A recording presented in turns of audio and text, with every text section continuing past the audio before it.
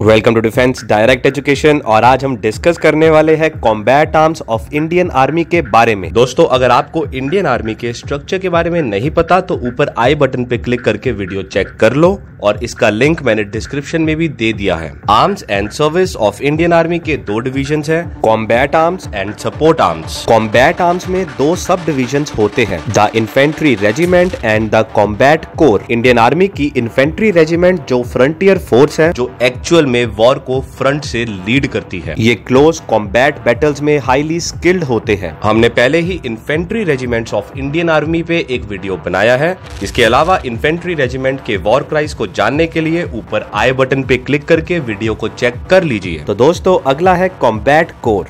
चलिए उसको one by one learn करते हैं। फ़र्स्ट है आर्टिलरी कोर। इसको गनर्स से भी जाना जाता है। ये सेकेंड लार्जेस्ट आर्म है इंडियन आर्मी की। अपनी guns mortars rocket launchers unmanned aerial vehicles surveillance systems missiles and artillery fire power के साथ ये अपनी टोटल स्ट्रेंथ का लगभग वन सिक्स हिस्सा है। आर्टिलरी रेजिमेंट का हेडक्वार्टर नासिक महाराष्ट्र में है। इसका मोटो है, सर्वत्रा इज़्ज़त ओ Iqbal.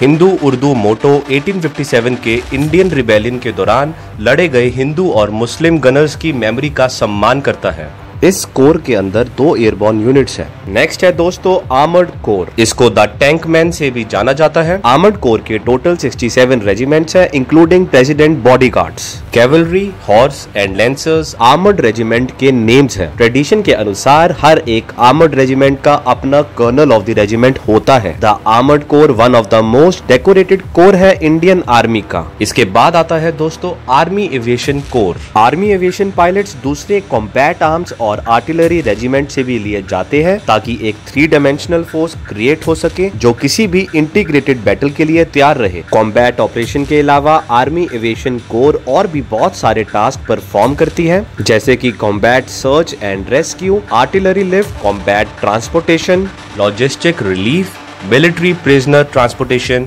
and medical evacuation during war and in the case of natural calamities. Pilot flying badge left side ribbon के ऊपर पहना जाता है और कोई भी उन्हें उनकी फ़ील्ड यूनिफॉर्म डंगरी से रिकॉग्नाइज कर सकता है इनका मोटो है स्विफ्ट एंड श्योर नेक्स्ट है army air defence army air defence पहले आर्टिलरी रेजिमेंट का पार्ट था, पर लेकिन अब it enjoys autonomy with status of separate corps इन्हें army air defence college Odisha में ट्रेन किया जाता है, जहाँ इंडियन एयरफोर्स और नेवी के कई पर्सनल्स को ट्रेन किया जाता है। इनका मोटो है, आकाशे शत्रुन जही और किल दी एनमी इन दी स्काई दोस्तों, अब बात करते हैं इंजीनियर्स की। कोर में कॉम्बैट इंजीनियर्स के तीन ग्रुप होते हैं, जो है Madras sappers the Bengal sappers and the Bombay sappers corps का the senior most group Madras sappers है। कॉम्बैट इंजीनियर्स के अलावा कोर एमईएस जैसी मेजर इंजीनियरिंग ऑर्गेनाइजेशन को ऑपरेट करता है। सी college of military engineering Pune Indian army के corps के इंजीनियर्स का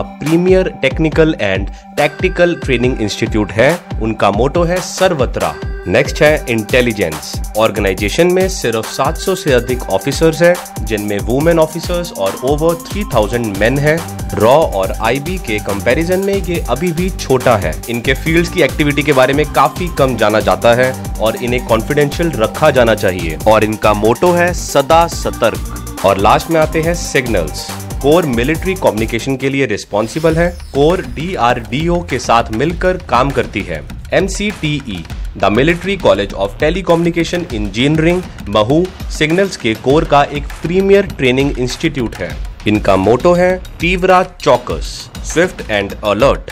ये सभी एक साथ मिलकर बन जाती है combat corps of Indian army. ये वॉर के टाइम इन्फेंट्री आर्म्स का सपोर्ट करते हैं। दोस्तों, मैं आपसे जानना चाहूँगा कि आप क्या ज्वाइन करना चाहते हैं? इन्फेंट्री रेजिमेंट या कॉम्बैट कोर? नीचे कमेंट करके मुझे बताइए। देखते हैं सबका क्या कहना है। तो दोस्तों, यही थी हमारी आज की वीडियो।